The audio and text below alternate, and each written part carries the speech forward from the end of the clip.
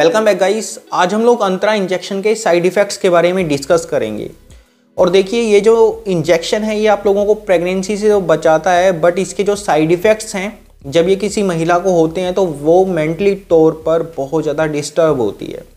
अधिकतर केसेस में ऐसा भी देखा गया है कि महिलाएँ इस इंजेक्शन की पहली डोज को लगवाने के बाद वो नेक्स्ट डोज नहीं लेती हैं। इतनी ज़्यादा वो मेंटली तौर पर परेशान होती हैं।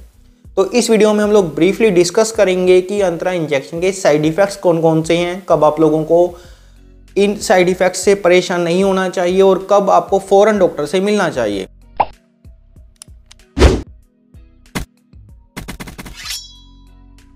देखिए, सबसे पहले तो मैं आपको ये समझाना चाहूँगा कि ये जो अंतरा इंजेक्शन आप लोग लगवाते हो, ये एक हॉर्मोन का इंजेक्शन होता है। इसके अंदर जो इंग्रेडिएंट है, वो होता है मेड्रोक्सी प्रोजेस्ट्रोन एसीटेट 150 फिफ्टी की इसकी डोज होती है। अब ये जो मेड्रोक्सी प्रोजेस्ट्रोन एसीटेट है, ये प्रोजेस्ट्रोन हार्मोन का सिंथेटिक वर्जन है। अब ये बात मैं आप लोगों को क्यों बता रहा हूँ? वो इसलिए बता रहा हूँ ताकि आप लोगों को समझ आ सके कि जब आप लोग या कोई महिला इस इंजेक्शन को जब वो लेती है तो उनकी बॉडी में प्रोजेस्ट्रॉन हार्मोन का जो लेवल है, वो एकदम से इंक्रीज हो जाता है। आपकी बॉडी शोक हो जाती है जो ब्रेन है सुप्रीम कमांड है, महिला का जो दिमाग होता है, उसको लगता है कि महिला प्रेग्नेंट हो गई है राइट अब जब ब्रेन को ये लगता है या महिला के शरीर को जब महसूस होता है कि वो प्रेग्नेंट है तो फिर क्या होता है? ओवल्यूशन नहीं होता है मतलब अंडा फूटता नहीं है राइट अब अगर किसी महिला के शरीर से अंडा नहीं फूटेगा तो फिर प्रेगनेंसी लगने के चांसेस ऑलमोस्ट ख़त्म हो जाते हैं। अब किसी महिला को अगर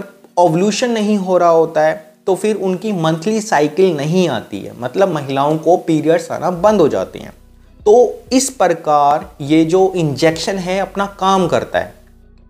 अब ज़्यादातर केसेस में क्या होता है कि ये जो अंतरा इंजेक्शन है, ये गवर्नमेंट हॉस्पिटल में फ्री ऑफ़ कॉस्ट लगता है। और अगर आप इस इंजेक्शन को किसी प्राइवेट हॉस्पिटल में लगवाते हैं तो ये अलग अलग नाम से आता है। जैसे कि खुशी इंजेक्शन परी इंजेक्शन या फिर डिम्पा इंजेक्शन या फिर डिपो प्रोवेरा करके भी ये इंजेक्शन मिलता है।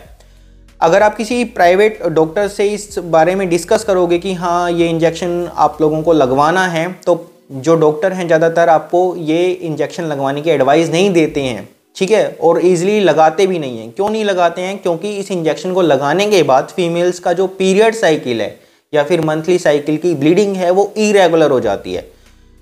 अब इरेगुलर ब्लीडिंग के साथ साथ महिलाओं को पेट में दर्द, कमर में दर्द होता है, ठीक है? कई महिलाओं को पीरियड्स आना बंद हो जाते हैं।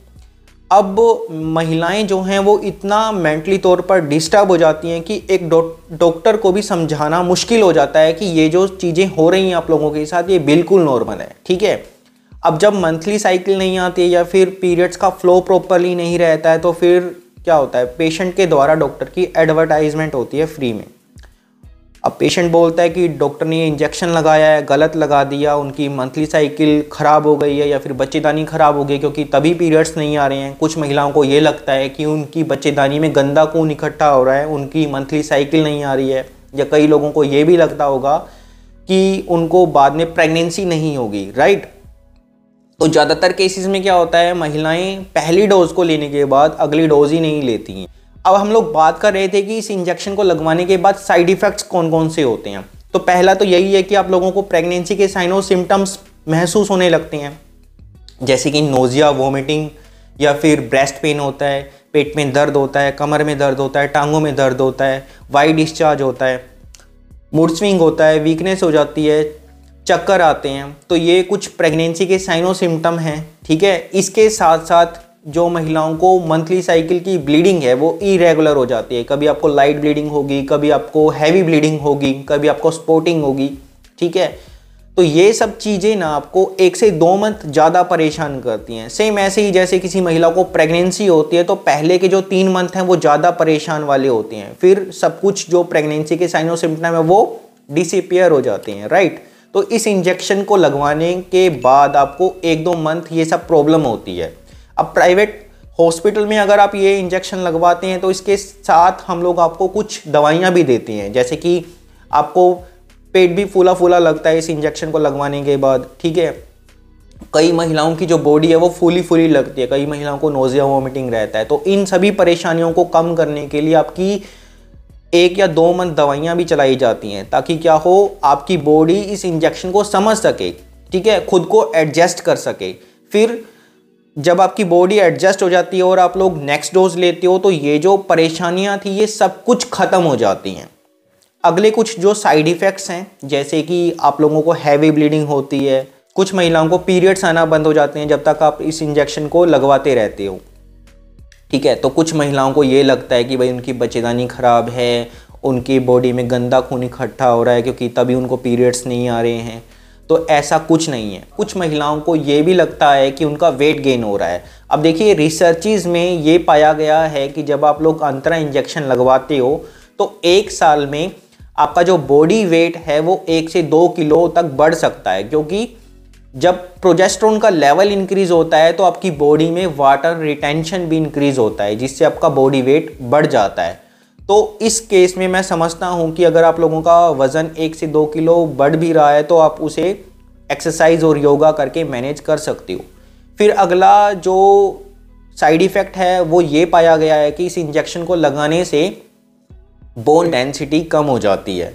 अब इसका भी लोगों ने हवा बना दिया है। देखिए, इस इंजेक्शन को अगर आप लोग लगातार पाँच साल तक लगवाते हो, ठीक है तो इससे जो बोन डेंसिटी है, वो पाँच से सात परसेंट तक डिक्रीज होती है। लेकिन ये पूरी तरह से रिवर्सिबल है। मतलब जब आप इस इंजेक्शन को लगवाना बंद कर देते हो तो आपकी जो ये बोन डेंसिटी है, जो मतलब आपकी हड्डियाँ कमज़ोर हुई हैं, वो नॉर्मल हो जाती हैं।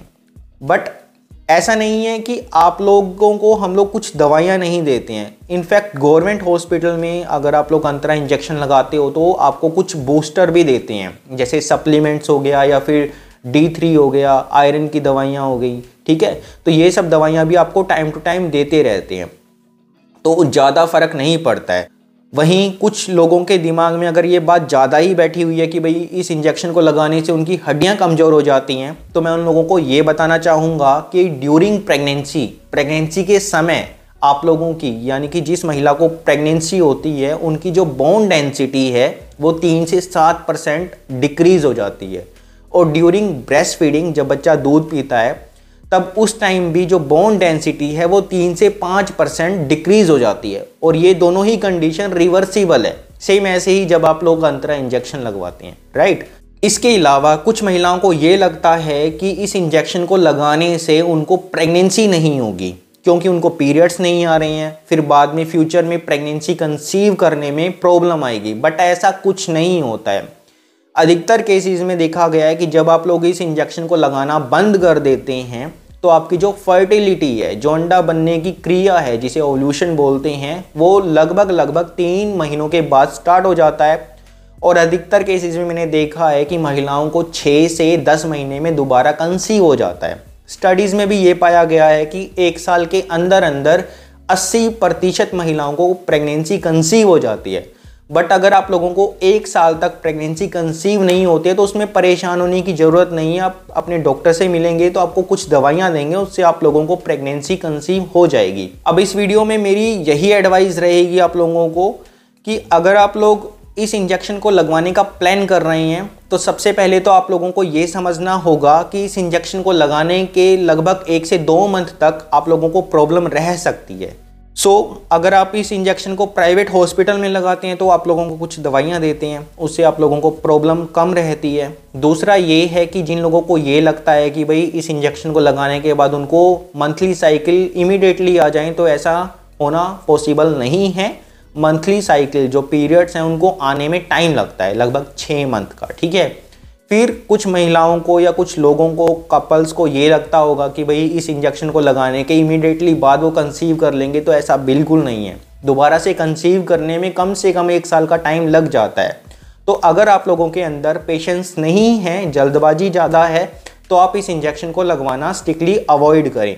आशा करता हूँ इस वीडियो में दी गई जानकारी आप लोगों के लिए काफ़ी यूज़फुल और बेनिफिट रही होगी। मैं मिलता हूँ आपसे नेक्स्ट वीडियो में। एक बहुत ही इंटरेस्टिंग टॉपिक के साथ, तब तक के लिए stay healthy stay fit thanks for watching this video